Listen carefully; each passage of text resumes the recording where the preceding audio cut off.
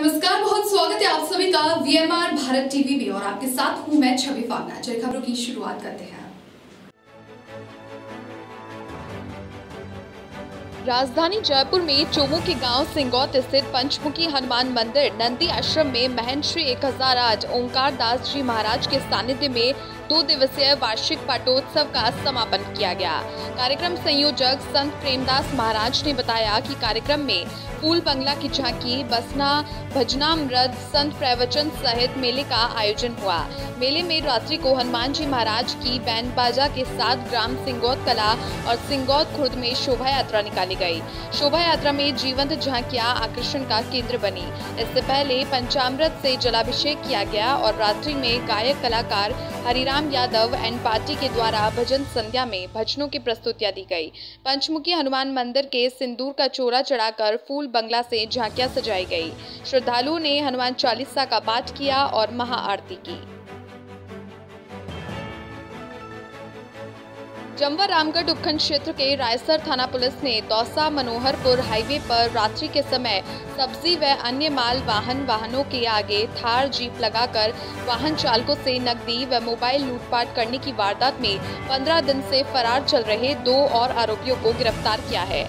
जयपुर ग्रामीण पुलिस अधीक्षक मनीष अग्रवाल ने मंगलवार को जानकारी देते हुए बताया कि रायसर थाना क्षेत्र में दौसा मनोहरपुर हाईवे पर माल वाहक वाहन चालकों से रात्रि के समय हुई लूटपाट की वारदात को गंभीरता से लेते हुए वारदात का खुलासा करने व मुलजिम को गिरफ्तारी करने के लिए अतिरिक्त पुलिस अधीक्षक धर्मेंद्र कुमार यादव व जम्वा रामगढ़ वृत्ताधिकारी शिव कुमार भारद्वाज के निर्देशन में रायसर थानाधिकारी रामधन साड़ीवाल के नेतृत्व में टीम गठित की गई।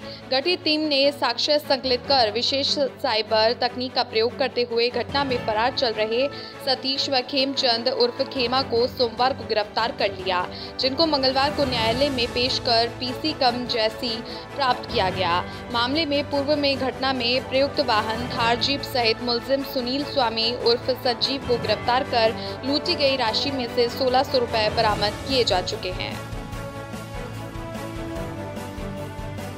श्रीगंगानगर में एसीबी ने बड़ी कार्यवाही को अंजाम दिया है। दरअसल श्रीगंगानगर के रायसिंह नगर के गुरतेज कॉलोनी में ग्राम विकास अधिकारी सुरेश मीणा, गाँव लखा हाकम को ट्रैप किया है।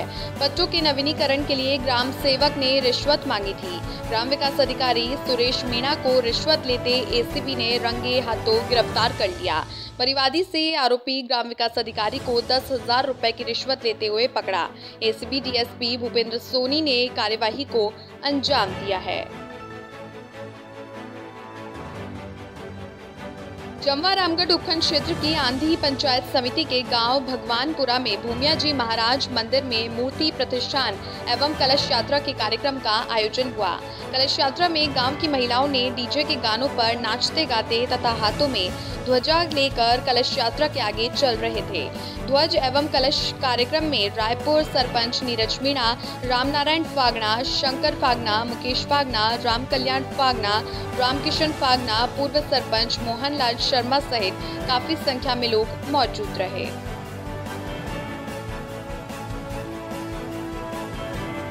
श्रीगंगानगर के घरसाना उपखंड क्षेत्र के गाँव 9 पीएसडीए के राजकीय उच्च माध्यमिक विद्यालय कक्षा 12 कला वर्ग का परिणाम शानदार रहा। विद्यालय की छात्रा ऋतु ने तिरानवे दशमलव चालीस प्रतिशत अंक लेकर विद्यालय में प्रथम स्थान प्राप्त कर रावला तहसील में तृतीय स्थान हासिल किया। वहीं महक प्रीत कौर ने नब्बे दशमलव साठ प्रतिशत अंक लेकर द्वितीय स्थान प्राप्त किया। विद्यालय के शानदार परिणाम को लेकर समस्त ग्रामवासियों व विद्यालय परिवार में खुशी की लहर है। प्रधानाचार्य क्षेत्र राम व्याख्याता विशाल सिंह, पंत कुमार, राजकुमार और समस्त स्टाफ शानदार परिणाम को लेकर भरपूर बधाइयाँ मिल रही है। और इसी दौरान विद्यालय के वरिष्ठ शारीरिक शिक्षक मोहम्मद तफेल, राजकुमार, वरिष्ठ अध्यापक मांजू ने टॉपर ऋतु का साफा पहनाकर सम्मान किया। मुख्य रूप से विद्यालय की 12 छात्राएँ कारगी पुरस्कार के लिए भी चयनित हुई हैं। भरतपुर में वैर भुसावर पुलिस ने अदालत के दौरान जारी गिरफ्तारी वारंट पर अदालत में विचाराधीन चल रहे मामले में चार साल से फरार चल रहे आरोपी को गिरफ़्तार कर लिया। भुसावर थानाधिकारी मदन लाल मीणा ने जानकारी देते हुए बताया कि दौसा ज़िले के सलेमपुर थाना के गाँव जलालपुर निवासी राम सिंह पुत्र कल्याण सिंह गुर्जर अदालत में विचाराधीन चल रहे पुराने मामले चार साल से फरार चल रहा था, जिस पर एसपी के द्वारा 2000 का इनाम भी घोषित था जिसको डीएसटी टीम ने भूसावर थाने के सहयोग से दबिश कर उसे गिरफ़्तार कर लिया, जिससे संबंधित न्यायालय में उसको पेश किया जाएगा। थाना अजय से करीब चार साल से फरार राम सिंह गुजर निवासी जलालपुर, वो हमारा स्थायी वारंटी था। उसको हमारी स्पेशल टीम के द्वारा उसको आज न्यायालय, वैर में पेश किया जाएगा।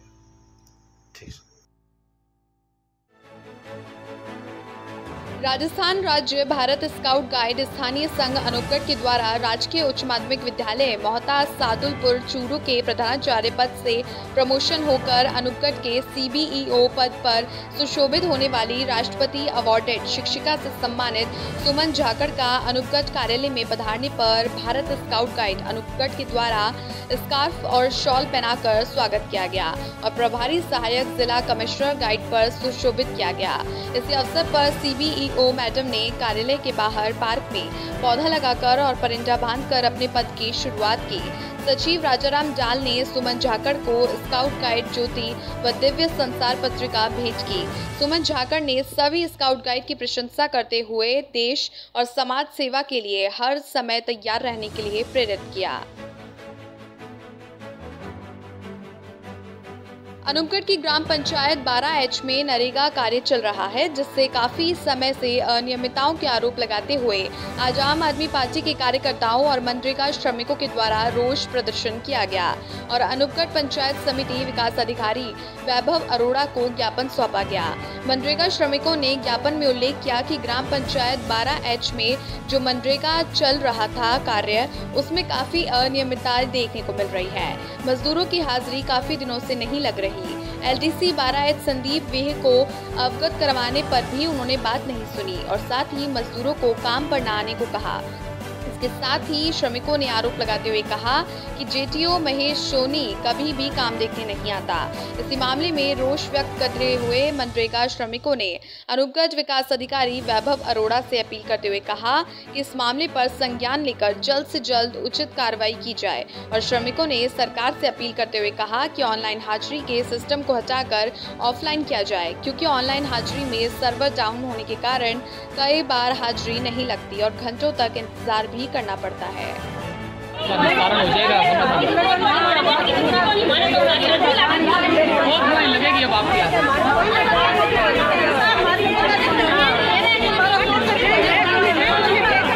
पानी पुनी की सुविधा वगैरह है क्या बेटा सारा?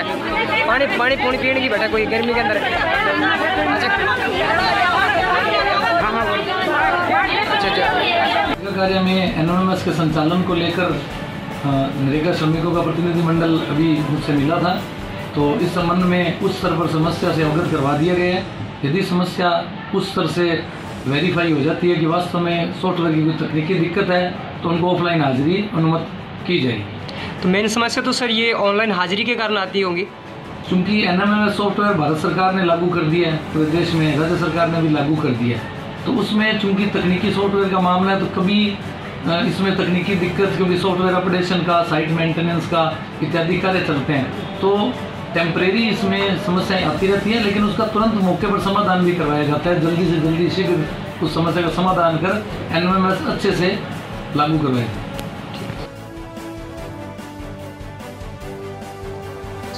रामगढ़ उपखंड क्षेत्र की ग्राम पंचायत थौलाई बस स्टैंड एवं रायपुर स्टैंड पर नव चयनित आईएएस नेहा ब्याडवाल और आईईएस निशा ब्याडवाल व आंधी पंचायत समिति की प्रधान मानसी मीना का जनप्रतिनिधियों व आम जनता की ओर से बड़े ही धूमधाम से हर्षोल्लास के साथ माला और साफा बनाकर स्वागत किया गया।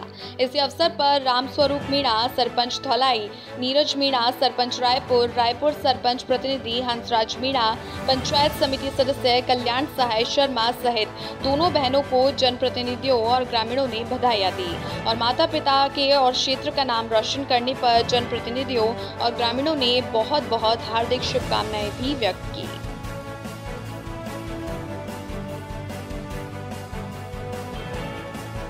भरतपुर में भूसावर थाना पुलिस ने मंगलवार को थाने में पूर्व में दर्ज हत्या के मामले में दो जनों को थाना इलाके से गिरफ़्तार किया है। भूसावर थानाधिकारी मदनलाल मीणा ने बताया कि गत 30 मई को भूसावर थाने के गाँव छोकरबाड़ा कला निवासी विनय उर्फ़ बिट्टू, पुत्र जगबीर जाट का शव थाना इलाके के गाँव दीवली के जंगलों में मिला था, जबकि मृतक की बाइक दौसा ज़िले के महवा थाने के गाँव लालपुर के जंगलों में मिली थी। विनय उर्फ़ बिट्टू जाट की हत्या के मामले को लेकर मृतक के परिजनों की ओर से। भूसावर थाने में कई जनों के नामजद करते हुए अभियोग दर्ज हुआ था और साथ ही दर्ज मामले की जाँच करते हुए पुलिस के अनुसंधान अधिकारी ने इस हत्याकांड के दो आरोपियों को मंगलवार के दिन गिरफ़्तार कर लिया है। उन्होंने बताया कि गिरफ़्तार आरोपी भूसावर थाना इलाके के ही गाँव अतिरामपुरा निवासी ललित कुमार मीणा और दूसरे आरोपी सुखविंदर उर्फ़ चुनमुन निवासी नाथो का नंगला है। हत्या के आरोप में गिरफ़्तार आरोपियों को पुलिस की ओर से सक्षम न्यायालय में अग्रिम कार्यवाही के लिए पेश किया जाएगा। पुलिस ने बताया कि अन्य आरोपियों की तलाश जारी है। पाँच दो हज़ार बाईस को दिल्ली के के बीच के छपरा निवासी विनय और बिट्टू की लाश मिली थी। उस पर मुकदमा दर्ज हुआ था और उसमें हमने तफ्तीश की और तफ्तीश करके कल शाम को दो इनके आरोपी जो हैं एक तो सुखविंदर और चुनमुन निवासी नाथू का नगला और ललित मीणा निवासी एतरामपुरा को गिरफ़्तार किया है। गिरफ़्तार करके अब उनसे अनुसंधान जारी है। शेष जो इसमें और आरोपी हैं उनको शीघ्र ही हम गिरफ़्तार अभी गिरफ़्तार शो तो किया सर रिकॉर्ड के अंदर? रिकॉर्ड के अंदर गिरफ़्तार शो तो किया है अभी? दो व्यक्ति गिरफ़्तार किए हैं ना? अच्छा। उनको आज हम न्यायालय में पेश किया है और पीसी हम